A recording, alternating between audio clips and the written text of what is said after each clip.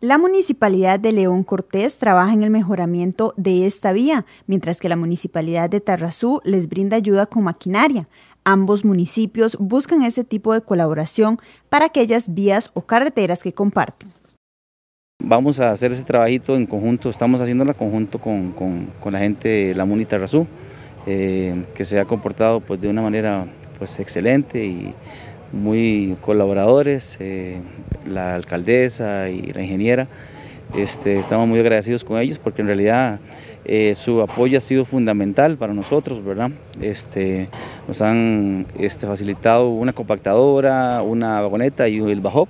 Este, y la idea es pues, seguir dándole, trabajando en conjunto en los proyectos que, por lo menos en los caminos que sean limítrofes entre los dos cantones. Los trabajos inician en el sector de San Martín, pasando por el Cedral y finalizando en la comunidad del Jardín.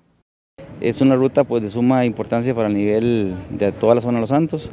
Es una ruta específicamente, eh, el Jardín Cedral, pues un poquito estábamos, la teníamos un poquito abandonada por falta de, coordinación, sobre todo este, esperando un proyecto que es eh, a nivel nacional, se ha venido atrasando mucho, que es el proyecto ModBit, dos, eh, pero ya le estamos eh, iniciando con la reconformación, rehabilitación de toda la superficie de ruedo y este, canalización de las aguas pluviales.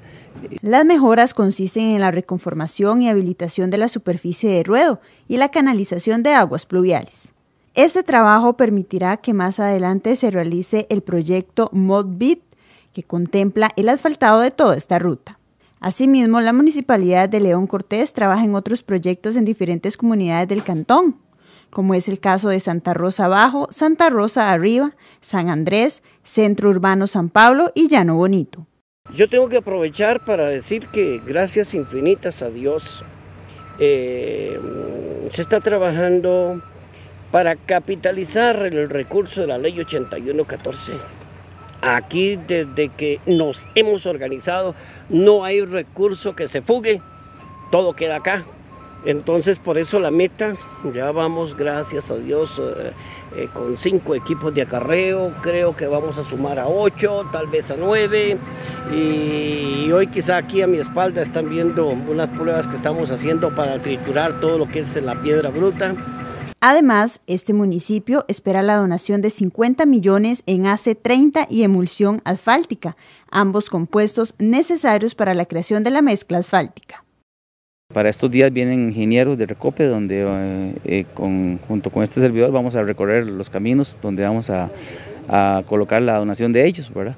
La donación es aproximadamente 50 millones de colones en hace 30 de emulsión y que eso nos, junto con la plata que tenemos en la 8114, vamos a, poder eh, ampliar proyectos y en este proyecto se invirtió cerca de 20 millones de colones y se espera que tenga una duración de dos semanas.